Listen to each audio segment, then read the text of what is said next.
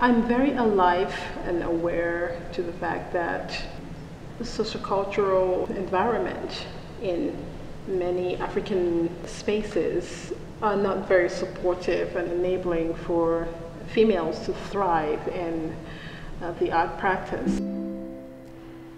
Women have to survive. They have to take care of children and their families. And when art practice does not support you to put food on the table, it becomes very secondary. I think what makes me distinct is the passion to make and to create is overwhelmingly in me. It takes that amount of passion for you to want to push forward even when things seem very bleak, even when it's hard and even when you've tried several times and you've been turned down.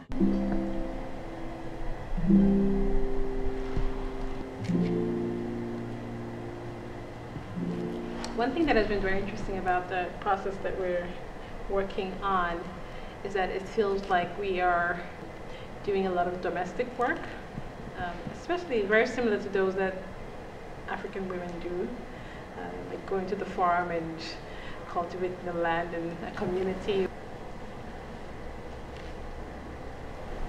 Do you always sketch before you do an installation? I do. I, I, I make a I make a sketch, uh, not too detailed, just you know to have an idea of how I want it to be. I know how I want the space to feel. I think it's the experience that I'm more interested in. So Yeah. um, I might visualize it to be in a certain way, but then I, I want people to walk through it in a certain way. So I kind of go for the experience more than how I want it to be.